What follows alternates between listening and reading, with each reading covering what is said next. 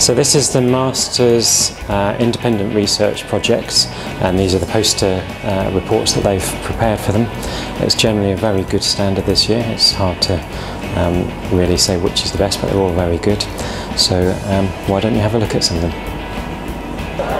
Project was based around provenancing um, andesites used by the Incas for big ceremonial buildings in Cusco, which is their capital.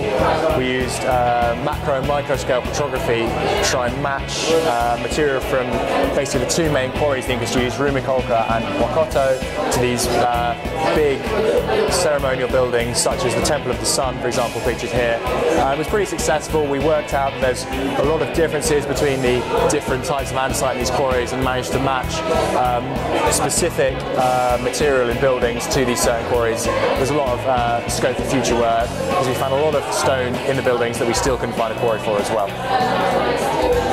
So basically I've been solving for the viscous flows which are induced by the subducting slab of the Nazca South American trench.